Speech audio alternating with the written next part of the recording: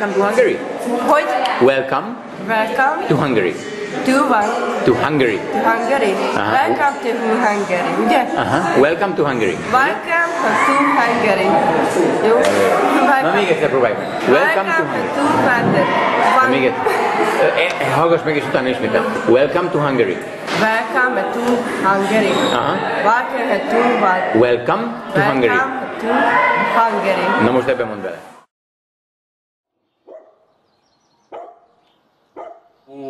तस्स भगवतो अरहतो सम्मा सम्बुद्धस्स।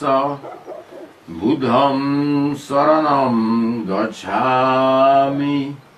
धम्मं शरणं गच्छामि। सङ्घं शरणं गच्छामि। द्वितीयम्पि बुद्धं शरणं गच्छामि। द्वितीयम्पि धम्मं शरणं गच्छामि। द्वितीयम्पि सङ्घं शरणं गच्छामि। तृतीयम्पि बुद्धं शरणं गच्छामि। तृतीयम्पि धम्मं शरणं गच्छामि। ততিহম্পি সংঘম শরণম গচ্ছামি পানাতিপাতা রেরমণি শিক্ষাপদম সমাদিয়ামি অদিন্নাদানা প্রেরমণি শিক্ষাপদম সমাদিয়ামি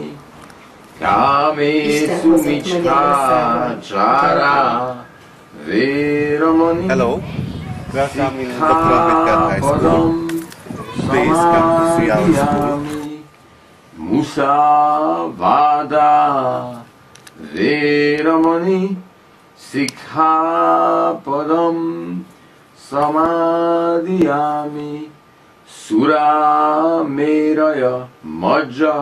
Pamadatthana Veramani Sikhapadam Samadhiyami Sadhu Sadhu Sadhu.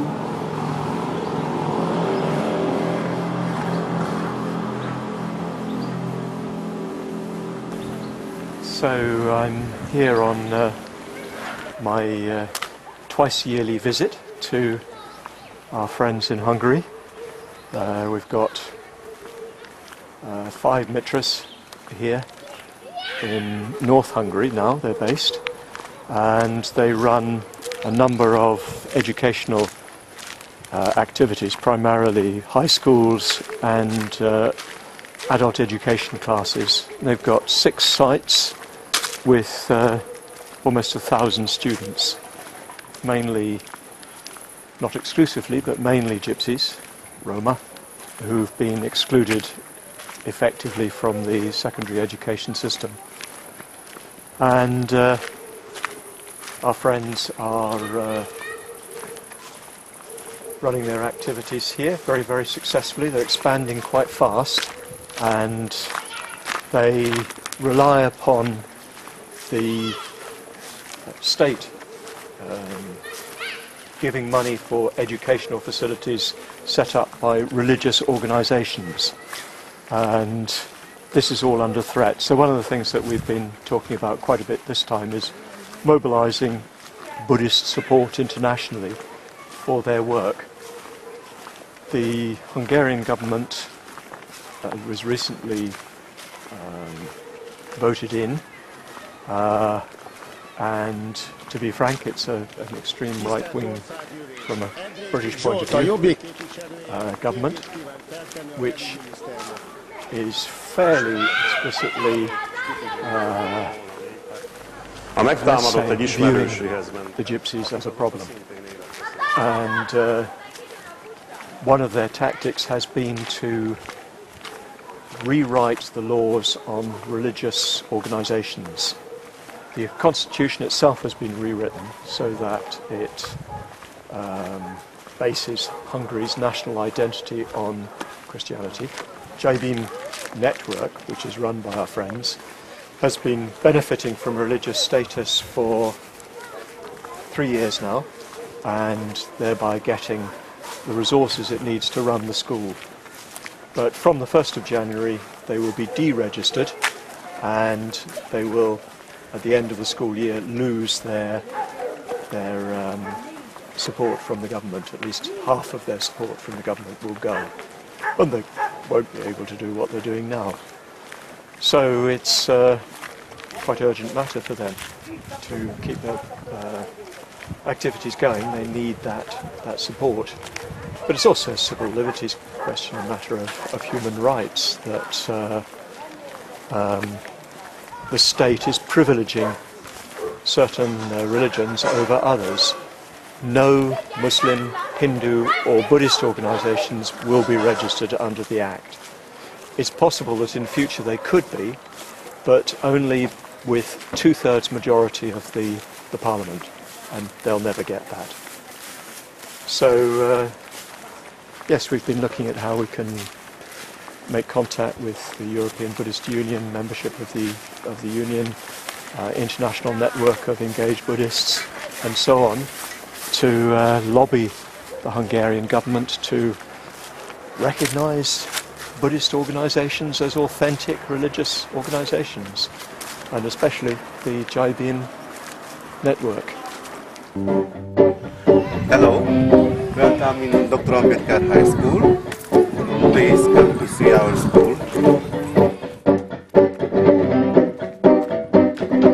This is our high school.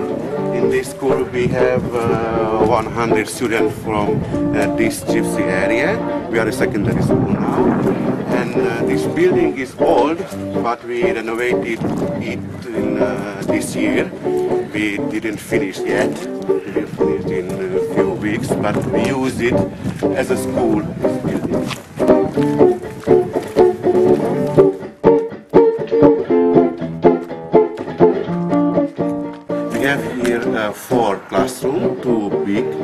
Classroom and two small classroom. And now there is lesson inside. And uh, after break, Subhuti will teach our student about Buddhism.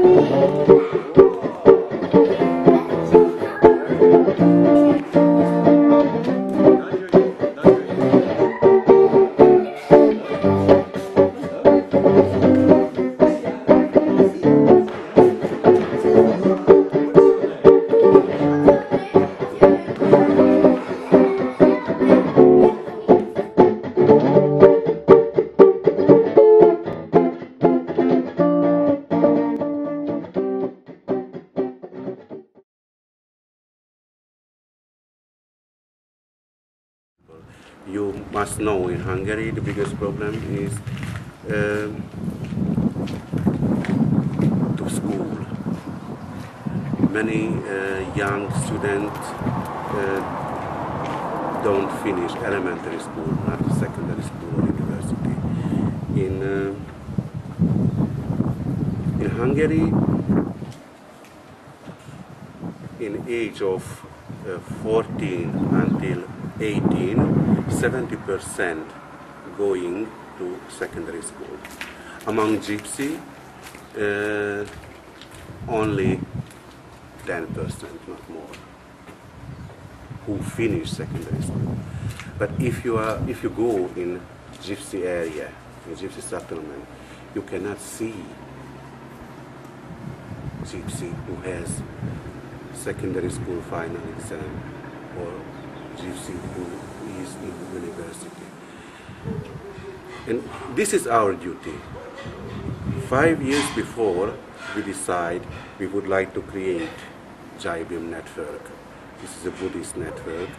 Uh, we saw it in uh, India, how Dalit do it, this, this, this kind of work for Dalit people. They have many, uh, they have very strong social network. They have many kindergarten, secondary school, and Million College also in Nagpur. This is a college.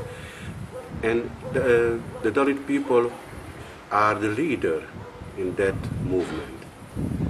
And in that time when I saw it, almost six years before, I decided I would like to copy this network. And we came back with Tibor and we create Jai Bhim network. And, and so Jai Bhim network decide we would like to uh, give knowledge for people to be taxpayer in the country. We would like to give them knowledge. We would like to help them to be doctor, to be teacher, to be Engineer. polgar, Intellectual people.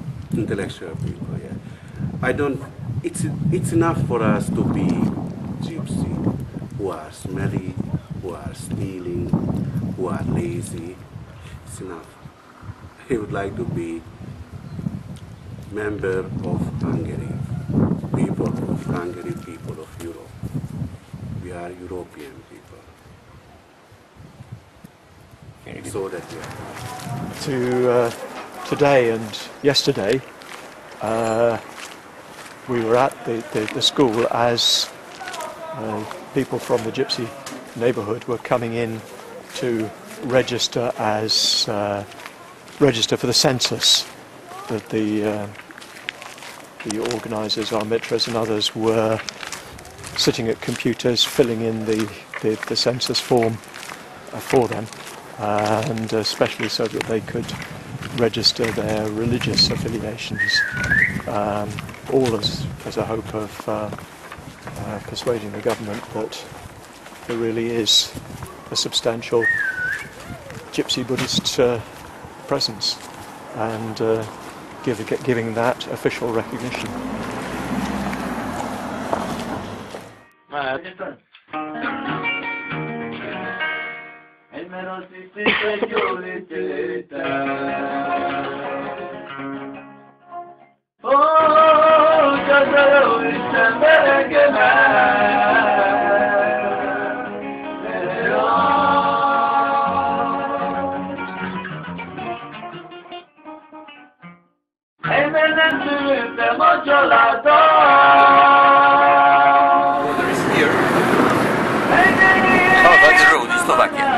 This is the Slovak This is the border.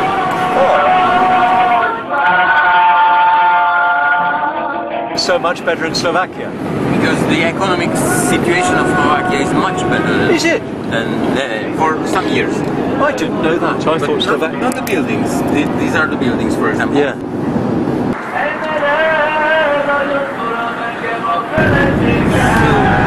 In Slovakia, uh, the much more segregated than in, in, in Hungary. The situation is not very good in Hungary as well, but the segregation is uh, even more developed in Slovakia. Yeah. I think uh, human rights uh, organizations are weaker Yeah. or non-existent. The main source of livelihood, this was the word I, I was looking for, livelihood. right livelihood. Yeah. Yeah. The main source of livelihood is going to Germany and begging on the street. Right.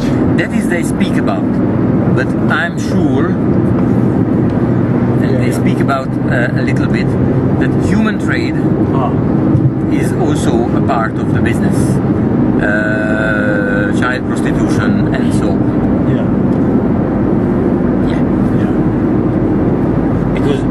Because It's no possibility. Uh, yeah. Uh, one family gets uh, 60 euros uh, by month as a social grant, and now it will be uh, 30 euros because of uh, world prices. Yeah, so it's not possible to, to, to live from this money. And if they go to Germany, they will go uh, 360 euros by month. Just As, yeah. So they say at least, yeah. yeah. there are no people who, who would deal with the problem at all. Because, of course, uh, it depends on government policy first, but uh, there should be people who, who deal with Push the government to do it. yeah, Yeah. and the local government and so on. Yeah. There are no people who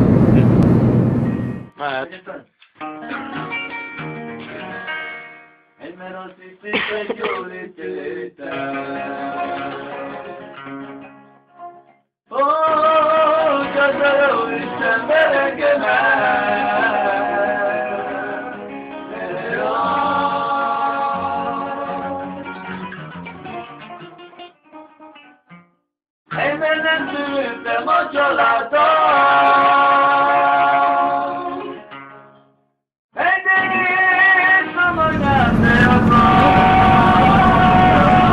deal with it. He's got a question for you. Can, can I ask why um, the people won't, that don't like having the don't like being filmed or photographed? because of uh, poverty and uh, shame, because of the shame that they are poor. They know that it's not normal to live this way in a European country. they are aware of this situation. Uh, two young girls uh, came to our school to, to learn. The, to the, study. the, the blondish girl and Yeah. the, the, the other one with her. I guess uh, uh, their family gave uh, them to us because of human trafficking. Ah, Uh, they are, uh, targets for. yeah, So it's a question of coming to this sort of place, making some connections. Some people will respond. Some people will want to they know, know that we are Buddhists. They know better that we are Buddhists than uh, in, in Hungary. Our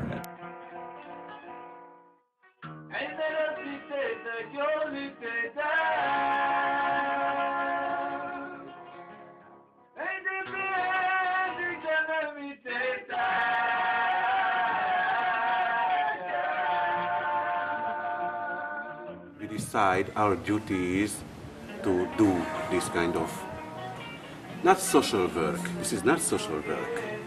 It's social work also, but this is our religion to help for people who need our help. If it is Buddhism, we are the best Buddhists in all Europe. If it's I don't know what, we are the best in this thing. I, I feel it, and I like I like it to do. It's very good, and yeah, and I hope.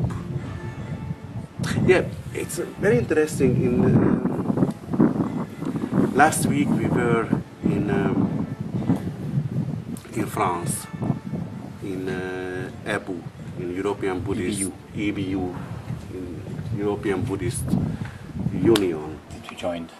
Yeah, and we joined in last year in EBU, and uh, yeah, I told them. They asked us what what we do here in uh, Jai Bhim network, and I told them a very simple example. Uh, many Western European Buddhists, Western European people going regularly in third world, in India, in Africa, everywhere, and they are as a volunteer. They do volunteer work, they teach, they, you know. And I told them, we don't go to third world, we remain in Hungary, in Gypsy area, because it's same. This is our religion. Missio, Mission. mission. Hmm.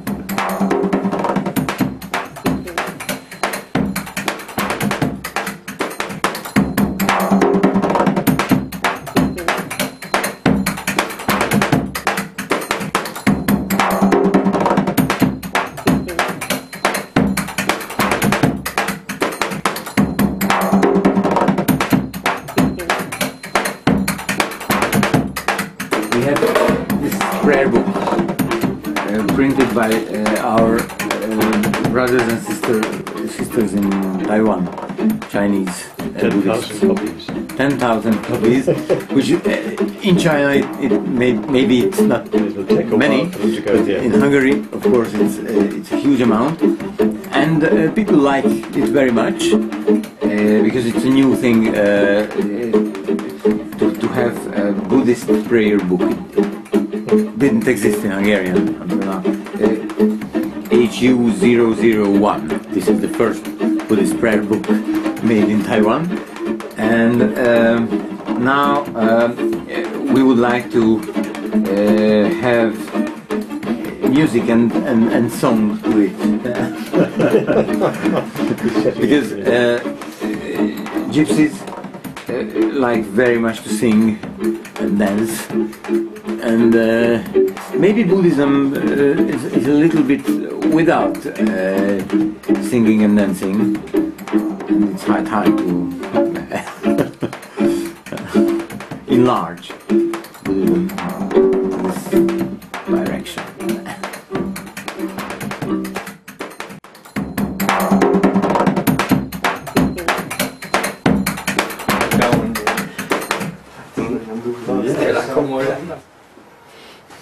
There's a damper on the top. yeah. Great.